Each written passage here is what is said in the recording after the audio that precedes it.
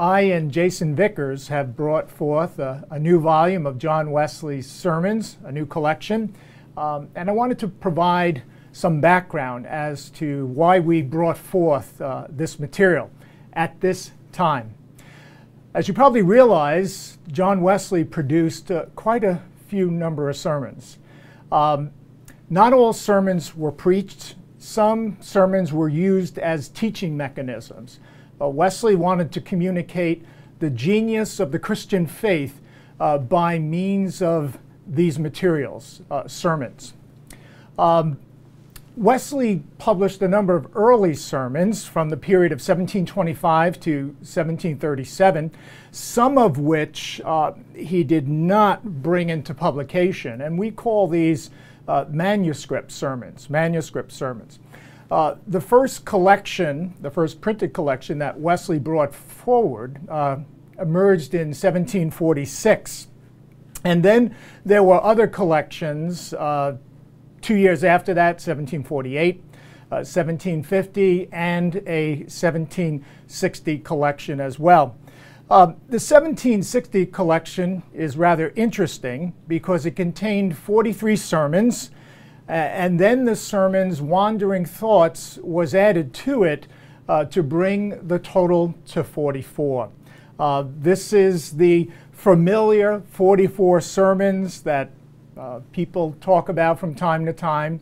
Uh, and certainly uh, in Britain, uh, these sermons, this particular collection, is very well known.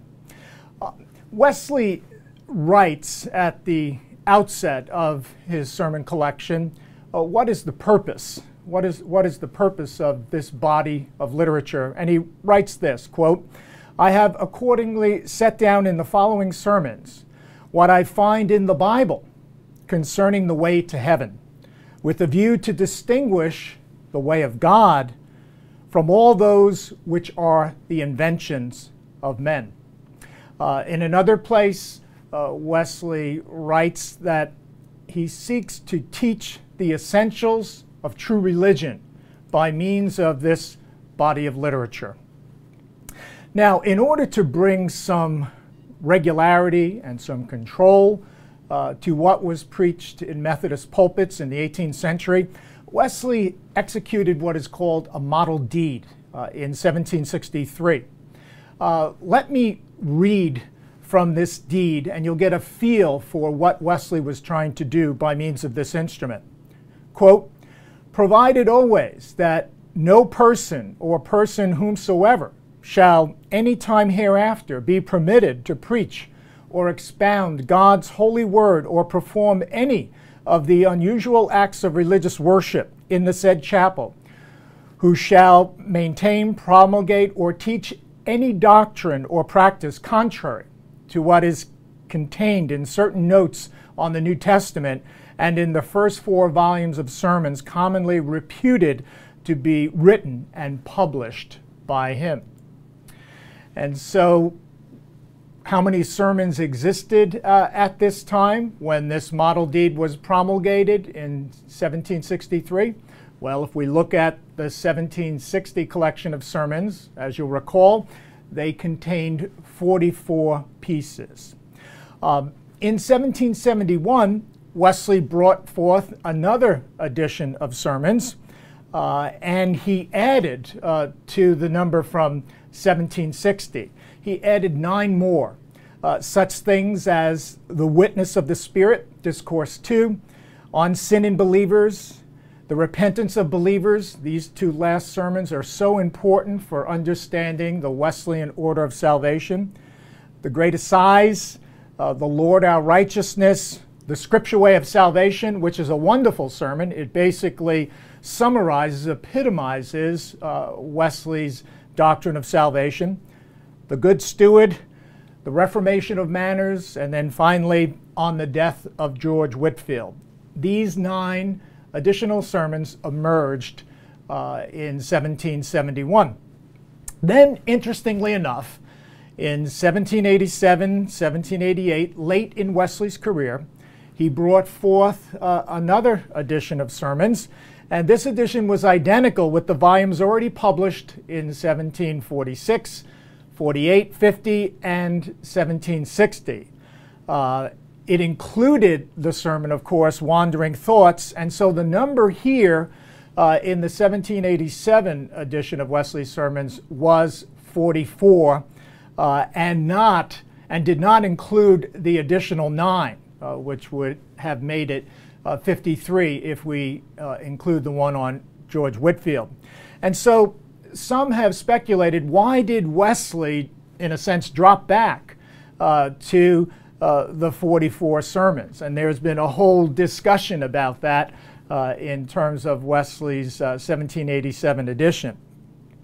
Um, if we look at what was published in 1771 that included those nine new sermons, Albert Outler, uh, his judgment was that the omission of these eight sermons, that is, if we exclude the one on George Whitefield, uh, would represent, quote, a serious loss, especially since it would shunt aside the two landmark sermons, The Scripture Way of Salvation and The Lord Our Righteousness. Okay. Uh, and so there has been a publishing history in terms of Wesley's sermons the British have tended to publish the 44 sermons, which are related to the model deed of 1763. But there were other collections of sermons that emerged uh, later on and in other areas. Uh, for example, uh, the Canadian Nathaniel uh, Burwash uh, came forward with John Wesley's 52 standard sermons, that, that volume. Uh, and I suppose Burwash was looking at the publishing history of 1771 and what, what Wesley had done in that year. And then the Australian Edward Sugden uh, came out with a two volume, uh, The Standard Sermons of John Wesley, that embraced uh, 53 sermons, although uh, he placed the nine additional sermons uh, of the 1771 edition uh, apart apart from the 44. And so there are two major sections in, in Sugden's work. And indeed, the Australians, by and large, were reading uh, 44 sermons, though uh, Sugden did indeed publish 53. Then there is the work of W.P. Harrison, uh, Methodist, uh, American Methodist, in his Wesleyan Standards, Volume 1 and 2. this was published in 1921 and this focused on 52 sermons. And then most recently, uh, there is the work of Outler and Heitzenrater, John Wesley's Sermons and Anthology, and that contains 50 sermons uh, in the collection, and that was published in 1991. The Outler Heitzenrater anthology is, of course, uh, an important volume, and it has served the church well uh, especially in terms of tracking Wesley's own growth uh, and development over time. Why then did I and Jason Vickers bring forward uh, a new collection? Well, we have used the Outler Heitzenrater volume in the past, uh, and in my judgment, I'll just speak for myself at this point, uh, the arrangement and composition of the John Wesley's sermons and anthology, uh, they are not best suited for use in active, full orb Christian discipleship. Uh, why do I say that? I say that because the sermons in the Outler Heitzenrater uh, volume are arranged chronologically. Uh, these sermons are ordered to track the development, Wesley's development, John Wesley's development over time. And you can clearly see that. Uh, it seems then uh, to be well suited to a graduate uh, a seminar that is focused on Wesley in terms of his historical and theological development, uh, but it is not focused uh, on the scripture way of salvation, so to speak. And so our volume that we're bringing forth now is arranged uh, theologically, soteriologically, in terms of the order of salvation, and it has a focus on Christian formation. Now, we can compare the Outler Heitzenrater anthology to something like the Burwash edition of Wesley's sermons, uh, that is John Wesley's 52 standard sermons. That was the title of Burwash's edition. And um, interestingly enough, the Outler Heitzenrater collection includes seven of the nine additional sermons uh, from the 1771 edition of Wesley's sermons. Uh, the ones on Whitefield and the Reformation of Manners are deleted. And so when we look at the Outler Heitzenrater volume, the, its major difference from other collections are due in large part uh, to what sermons of the 44 uh, are left out. Uh, and so the Outler Heitzenrater volume excludes many of the 44 sermons that Wesley himself viewed quite favorably as representing the substance of what he was preaching. These same 44 sermons were in fact protected by the Model Deed of 1763 and were subsequently given formal status in British Methodism. These sermons have had a rich publishing history as a distinct and val valuable body of literature through the work of Burwash and also Harrison, and we might also say Sugden. Um, these sermons have been and remain uh, so integral to Christian formation and substantive catechesis. Um, now, let's just take a look at, do this specifically, what sermons the Outler Heitzenrater volume leave out. I'm going to break it down into three major categories. First, they leave out sermons in terms of faith and assurance. Specifically, the sermon, The Righteousness of Faith, the first fruits of the Spirit, the witness of our own spirit, and the nature of enthusiasm. In, in other words, these four sermons, which have to do with faith and assurance, which are so important uh, to understanding serious Christian formation, uh, are left out. Secondly, uh, a number of sermons that have to do with Wesley's uh, theological ethics. And I'm thinking here of the Sermon on the Mount series, which is one of the best windows on Wesley's theological ethics. A number of these sermons are left out. Um, the Sermon on the Mount Discourse 1, uh, Discourse 2, Discourse 3, Discourse 7, Discourse 9, uh, 10, 11, 12, and 13 are all shunted aside.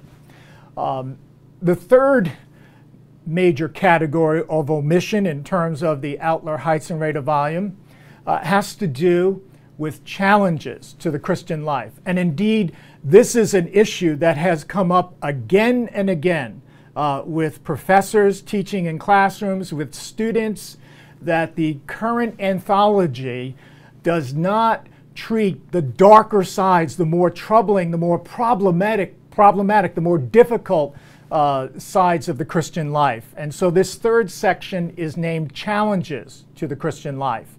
What sermons are we thinking of here that are left out in the Outler Heitzenrater anthology? Wandering Thoughts, uh, Satan's Devices, The Wilderness State, Heaviness through Manifold Temptations, Self Denial, and The Cure of Evil Speaking. Okay?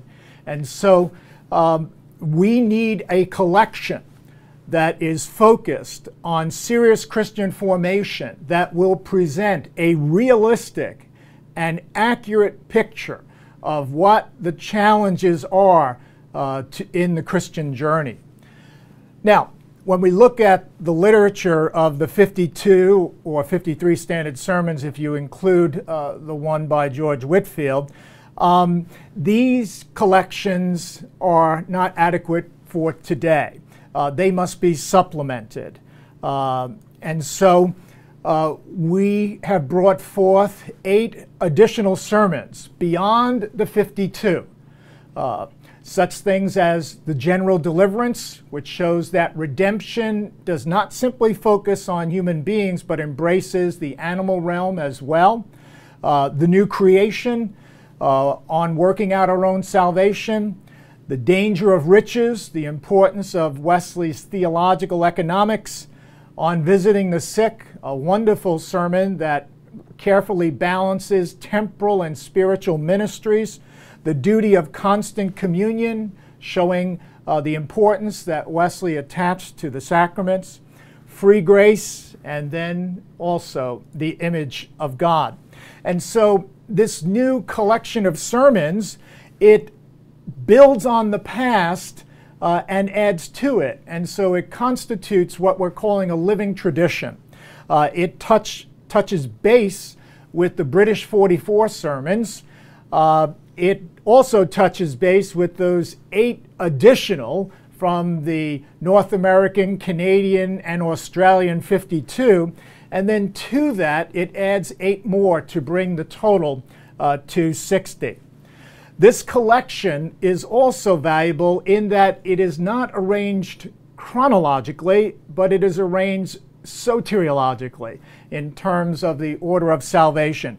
The collection begins with creation, the image of God, then the fall, uh, free grace, repentance, and every step along the way until we get to the new creation. On some level, uh, it almost reads like a novel, and you're wondering how this person will do in the journey. Um, and so the sermons are arranged in that fashion. The order is reflected in a number of theological categories, and those theological categories are listed in the table of contents the goodness of creation, the fall, free grace, awakening, prevenient grace and repentance, prevenient grace and converting grace, repentance, justification, justification and imputation, regeneration or the new birth, assurance, the Christian life, challenges to the Christian life, the sum of true religion, illumination and second repentance, second repentance, pressing on to Christian perfection, Christian perfection, the extent of redemption, judgment and glorifying grace, and then finally, glorifying grace in the new creation. We should also point out that the text used in this new collection of sermons represents the best scholarship.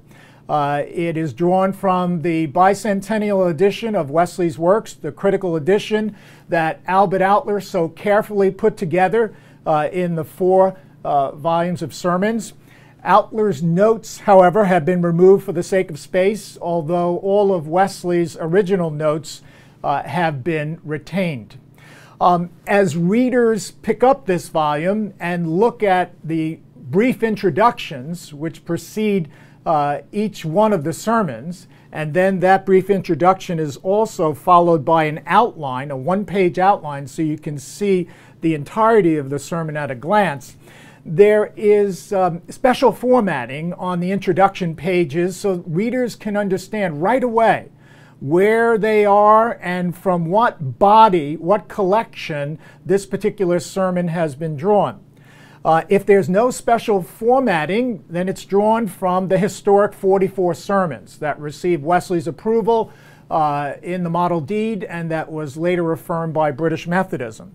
Uh, if a sermon title is italicized, then it represents those eight more uh, which were published in 1771, if we exclude the one on George Whitefield, and that were republished by Burwash, Harrison, and Sugden.